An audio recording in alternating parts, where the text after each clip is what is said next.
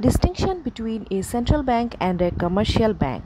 So far, we have learned about a commercial bank, which is a financial institution whose main aim is to accept deposits as well as lend money.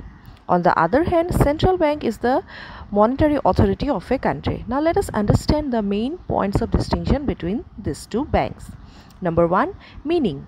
So, central bank is an apex institution of the monetary and banking structure of the country and it completely regulates the entire financial system of a country.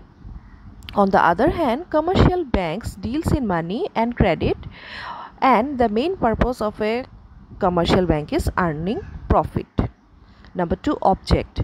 A central bank is a non-profit making institution and it acts in the public interest whereas a commercial bank's main objective is earning profit. Number three, ownership.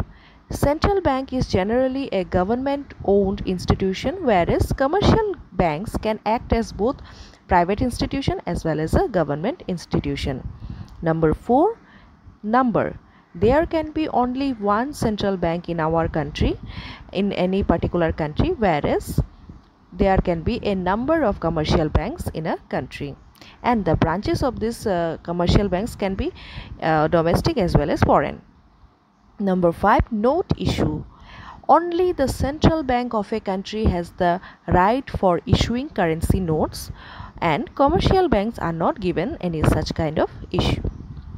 Number 6 Banker the central bank acts as a banker to the government also to the commercial banks and it does not have any direct dealings with the public. On the other hand, commercial banks deal directly with the public and provide customer services.